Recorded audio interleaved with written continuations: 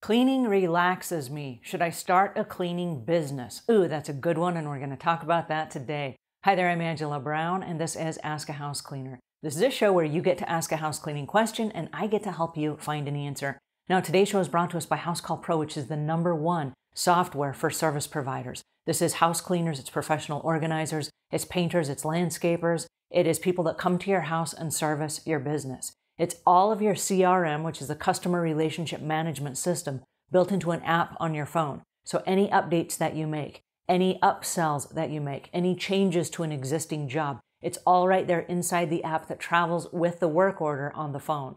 So when you go to invoice the customer, all the information is there. And then once you get the information back and the confirmation of the work that you've done, it's one click credit card processing. So it's all integrated and it's all on your phone and it saves you hours of administrative tasks. So check it out at housecallpro.com forward slash Angela and they have a special deal for me and my friends. All right, on to today's show. We have a house cleaner who called in and asked this question. Hi, my name is Mel Almonas. I'm thinking about starting my own cleaning business. So I have no idea what I'm doing, but I know I'm really good at cleaning and it's something that I enjoy doing. It relaxes me. Right now, I'm currently working as a mental health specialist. I have a bachelor's degree, but I work on the overnight shift. And the only thing to do on the overnight shift is clean. So I've been getting a lot of like compliments on how well I'm doing. So I want to start my own cleaning business since I don't have any references. I'm going to my neighbors who already have a cleaning person and I just want them to give me a trial. So my question is do I charge my neighbor who will be my first client to clean her house or do I do it for free? Please let me know. I'm really stuck on this. Thank you. All right, Mel, that is a really interesting question. Thank you so much for calling in. There are a couple things that concerned me about what you said, and I want to hit each of them individually so that I don't miss anything. But if I do miss anything, please leave comments in the notes below because we do answer our questions and we would love to answer yours as well. All right, listen, here's the deal. You say you love cleaning because it relaxes you and that you've been cleaning on the night shift at your other job. All right, so cleaning luxuriously to relax you and whatever is very, very different than being a professional house cleaner. When you are a professional house cleaner, while you are enjoying the job and while it may relax you, you don't have the luxury of relaxation on a job. The whole entire game of professional house cleaning is all about efficient cleaning. It's about getting in, getting the job done, being efficient and effective, and then getting out. You don't go in and leisurely roam around and clean things and wipe things and take your time and all that stuff. You just don't have time because what you're selling is your time in exchange for money. And so there's only so much time in exchange for your money. We all only have 24 hours in a day. And so if time is your most valuable asset, which it is to most people, you only have a certain number of hours in a day, you are able to clean houses. So as a business, the the leisureness of cleaning to relax and feel great and all those things is gone. It is a business, it's boom boom boom boom. You have a certain set of criteria, you're working from a checklist, you're going in, you're going to do the job. Okay, so that is the business. Now, the next thing that you mentioned is you says you have a bachelor's in mental health. That is a concern for a couple of reasons and that is your go-to. Okay? So that's what you know, that's your comfort zone, that's where you thrive. So right now you're great at solving those kinds of problems. Now, I need you to back away from that if you're going to be a professional house cleaner. It's great that you have that experience and you have that um, going on in the back of your mind, but I need you to step back from that. Here's the reason why. You're going to get inside customers' houses and you're going to see a bunch of situations that are going to kick in to your comfort zone. And you're going to say, wait a second, I can help this person, right? But they're not paying you for mental health services, they're paying you for house cleaning.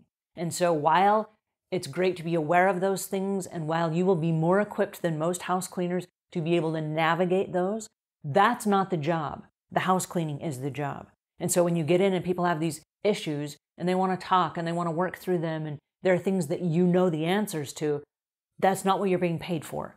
And so you'll have to back away from that, which is going to be super hard. So every time you run into a scenario like that, I want you to have red flags go up going, whoa, I switched jobs. This is not the same job that I was paid for before. This is this is house cleaning. stick with the house cleaning. You got to be laser focused on the house cleaning. All right, the next thing that you asked, and this is a series of interesting questions, but should you go work for your neighbor who already has an existing house cleaner? Okay, so you've already told us that you don't have experience with professional house cleaning, yet you're going to go to a neighbor who already has one. Okay, that's a little bit of a concern because she's going to be comparing you to her existing house cleaner. And if the house cleaner is good, her house won't need a lot of work. So you're not going in to do a deep clean for the first time. You'll be doing a maintenance clean on a house you're completely unfamiliar with. Now, the reason we do a deep clean when we go to a customer's house for the first time is because we are learning their house. We're introducing ourselves to their home. And so until you actually clean a house, you don't know where all the nooks and crannies are and where the hidden spots of gunk are and things that need extra attention and all that stuff. So yes, you'll have to do a walkthrough. You'll have to do a cleaning. But by the time you get in the thicket of the cleaning, whatever that is, it's going to be time for you to go. By the time you've learned the house, you're not coming back because she already has a house cleaner. So I don't even recommend that you go to that person's house because it's going to be a whole lot of time and a whole lot of energy, and it's a dead end job. It's not a repeat job. My suggestion would be that you go to somebody new you've never cleaned for before, put on your presentation, and you will get better at your presentation as you go. Okay, and if you're no good to begin with, then get in front of a mirror and practice rehearsing a presentation. Have your friend or your neighbor come over and run through the presentation with her. Go over it again and again and again until you're comfortable doing a walkthrough. Once you're comfortable doing a walkthrough, I suggest you go to a brand new customer's house. Try to sell your services because it's going to tell you really quick are you a good salesperson? And if you're not, as you are learning the business, you might also need to be learning sales and marketing. So there are a couple of things that go together, and there's a reason why I wrote a book called How to Start Your Own House Cleaning Business. It removes all of the ifs and what ifs and the stuff that we leave to chance. It removes all that up front. It gives you a very simple step by step program so that it's very easy to get involved in the business. And it's only for about three months. Once you get in the groove of the business and you get up and running, then we change all the rules on you because now you have better tools and you have a better set of skills. You know what to expect and you know about how fast you clean. Okay, so the rules will change as you grow in your business. It's like a little baby that then grows through the toddler phases and they have this weird phase where they're learning how to walk and their legs are wobbly and all those things. As you're starting a business, you're in that toddler phase. And then there comes a moment where, as a toddler, you just take off and you start running and you run away from mom and dad and you're gone, right? They can't keep up with you. So, this is kind of like starting a new business. So, my recommendation would be do not go to an existing person that already has a house cleaning company just for free, okay? Then the next thing that I want to recommend, you ask, should you charge? Yes, you should charge.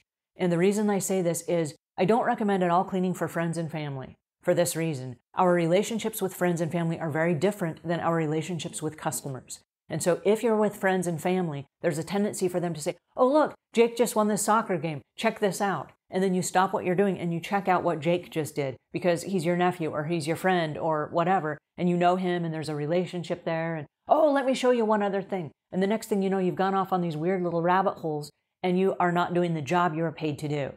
Another thing that happens frequently with friends and family is they say, Oh, I got to run go grab something at the store or something. Can you watch the kids while I'm gone? A regular house person wouldn't do that to you because you're being paid to clean houses, not watch their kids. So there are these weird boundaries that have already been crossed with friends and family. So I don't recommend cleaning for friends and family with the exception of your parents. If your parents need house cleaning, I recommend that you clean for them for free for this reason. They raised you and you owe it to them.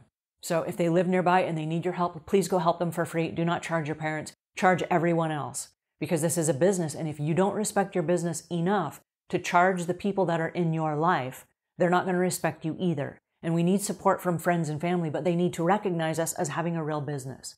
So these are a few things that I want you to think about as you get started. I want you to give it some serious thought. Is this the right business for you? Because if you love to clean and it's just this relaxing Zen place for you. This might be the wrong business for you. And I hate to say that because I'm, I'm encouraging and I want cleaners to be in the business, but it might be the wrong business for you. You might be better suited to have house cleaning as a hobby. I don't know. Things to think about.